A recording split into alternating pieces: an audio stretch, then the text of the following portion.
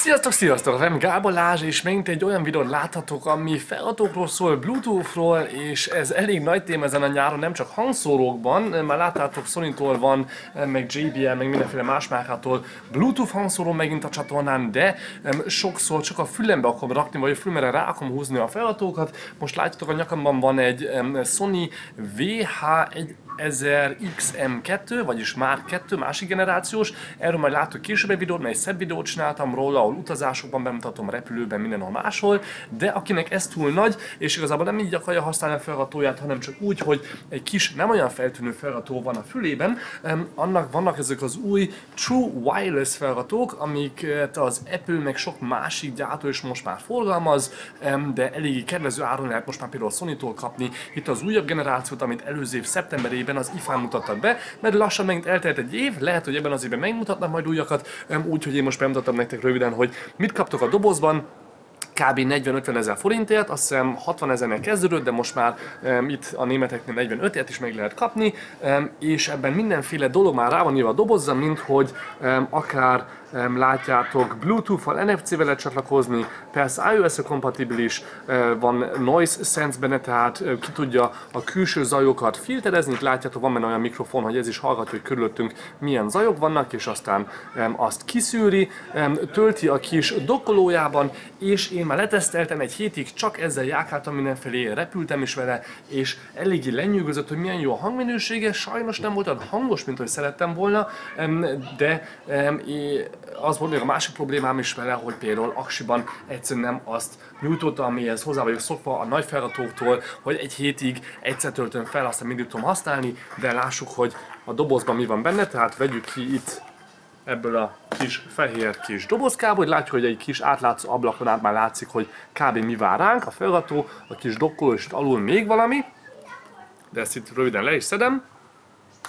és akkor már láthatjuk, hogy itt vannak a fülesek, itt van a kis töltő, és akkor itt van még három különböző méret, hogy kényelmesen tudjuk majd hordani, és ezek nem gumiból vannak, hanem ilyen másfajta, nem tudom milyen anyagból, de eléggé puha, kényelmes kis anyagnak tűnnek, és nagyon stabilan benne maradt mindig a fülében, egyszer sem volt olyan problémám, hogy sportoltam, futottam, vagy bármi, és kiesett volna a fülemből, ezt be is mutathatom nektek röviden, méghozzá itt van a bal oldali például, ezt simán bele tudom rakni most itt a bal oldalamra, így néz akkor majd kb. ki. Tehát ez a rész itt előrefelé van, és akkor Sony szépen el lehet olvasni, és a másik oldalt ugyanígy. Rá van írva pirossal, hogy R, vagyis right, vagy németül rechts,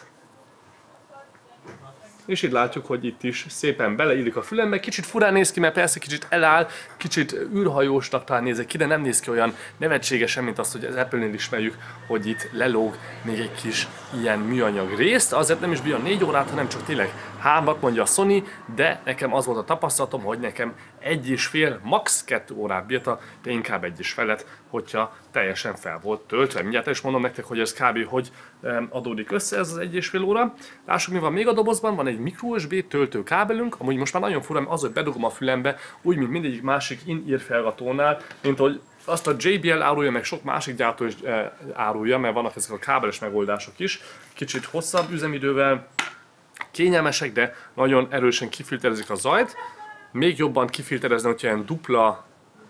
um, gumit használok, ahhoz még, még külön ilyen fűrészek is vannak, hogy még stabilanban benne álljon a fülemben, mert ez a kis gumirész ez persze azért van, hogy hogyha futok, akkor szépen így benne van a fülemen tényleg belül, a belső részben is, és így nem tud semmelyik irányba se lötyögni. És akkor még van egy csomó olvasni való, amit most nem veszek ki, mert az nem annyira izgalmas, de még megmutatom nektek a kis töltőt,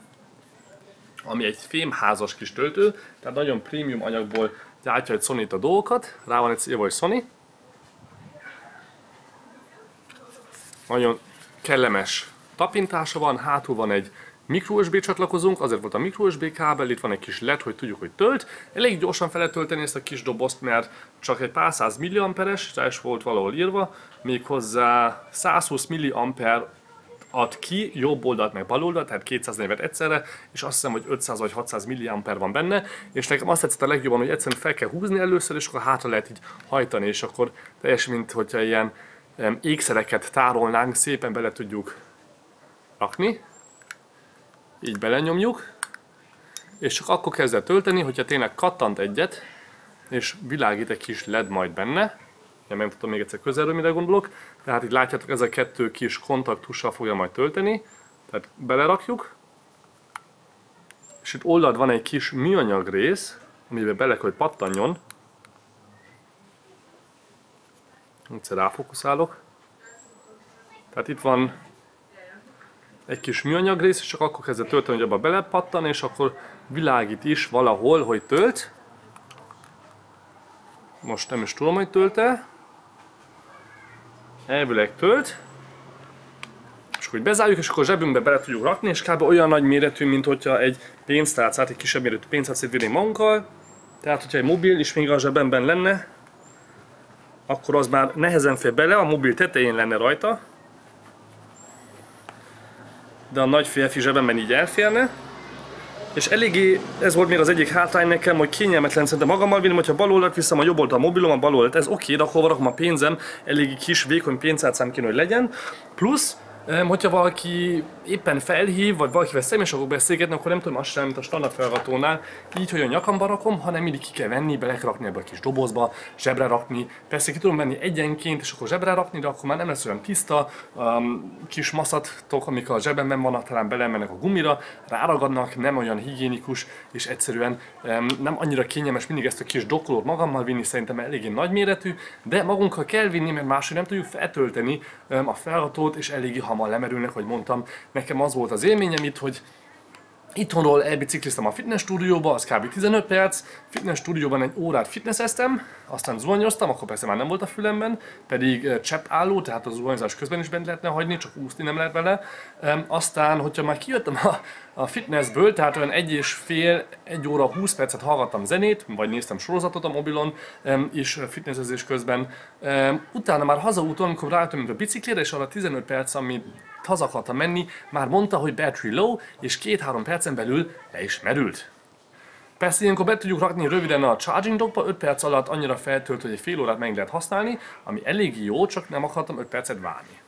Tehát ez volt az egyik élményem, és még volt kettő másik, három ilyen élményem, de legalább nagyon jó a hangminősége, plusz um, hangerőben nem olyan hangos, de akkor, hogyha a repülőben benne volt a fülemben, és be volt kapcsolva a noise cancelling, neki is lehet kapcsolni, egy kicsit továbbélja, nagyon kellemesen kiszűrte azt a standard zúgást, ami van egy repülőben, persze egy kicsit még mindig lehet hallani, úgy, ahogy a felgatóknál is mindig lehet még tovább hallani, de kellemesen lehetett vele legalább úgy aludni, hogy neki dőltem a fülem, vagy az oldalnak a fejének, és akkor nem volt ott az a nagy felgató, amitől nem tudtam volna kényelmesen aludni,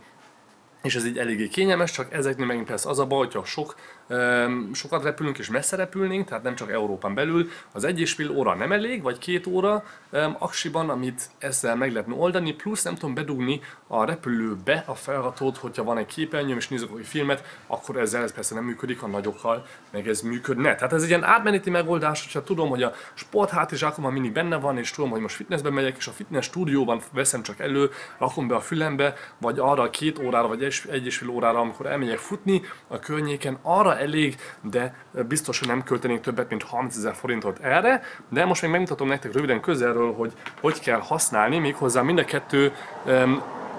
jobb meg a balason is van egy kis gomb, kis átlátszó gomb, és hogyha elővesszük a kis dokkolóból, már is bekapcsol, pislog, és hogyha belerakom a fülembe, más azt mondja általában, hogy connected, mivel NFC-be tudunk csatlakozni úgy, hogy itt alul neki tartom a mobilomat, vagy amikor bekapcsol ilyenkor, akkor is automatikusan pairing módban van, vagy hogyha nincs, akkor a bekaps gombot a jobb oldalinál nyomva tartom, sőt a bal oldalinál, ez volt a jobb oldali, így, tehát itt van a backups gomb rajta, és hogy ezt nyomva tartom sokáig, akkor elindul, hogyha le nem merül be a docking station és nem érzékeli, hogyha egyszer nyomom meg, akkor ki tudjuk meg be tudjuk kapcsolni az ambient módot, tehát a noise cancellinget, a zajkis, a szűrést, máskor meg, hogyha megnyomjuk egyszer, akkor lehet telefonhívásokat felvenni, elfogadni, ami csak az egyik oldalon fog működni, amúgy csak az egyik oldalt halljátok majd a telefonhívást, másik oldalt nem. Egyik további hátrány, mert vannak olyan ilyen True Wireless uh, headphone-ok, ahol mind a két oldalt halljátok, akivel beszéltek, itt csak az egyik oldal lesz és a hangminőség sem olyan, hogyha bicikliztem például, nagyon zajos volt, a másik szem egy egyáltalán nem értett, hogy mindig meg kellett állnom, és csak úgy tudtam valakivel beszélni, hogyha tényleg vagy állok, vagy lassan sétálok, különben már túl sok volt a szél, ami belefújt a mikrofonba. További kisebb hátrány, de különben csak zenehallgatásra vagy sorozatnézésre, hogyha nem túl sokáig csináljátok és valami új um, vicces kis gadgetet kerestek, akkor a Sony um, dupla VF 1000X-nek hívják amúgy, kicsit jobb nevet is kitalálhatnának neki, például True Wireless uh, In-Ear Headphone uh, a Sony-tól, eléggé jó kis megoldás, és szerencsére szerintem nem is olyan vészesen drága, mint az a Sonyhoz, nál igazából hozzá vagyunk sajnos általában szokva. Tehát ennyi volt a rövid teszt és bemutató, kicsit sokat dumáltam, de ez most egy ilyen videó lett. Köszönöm, néztetek, legközelebbig ne fessenek feliratkozni, és a nevem Gábalás még egyszer a Tech videótól.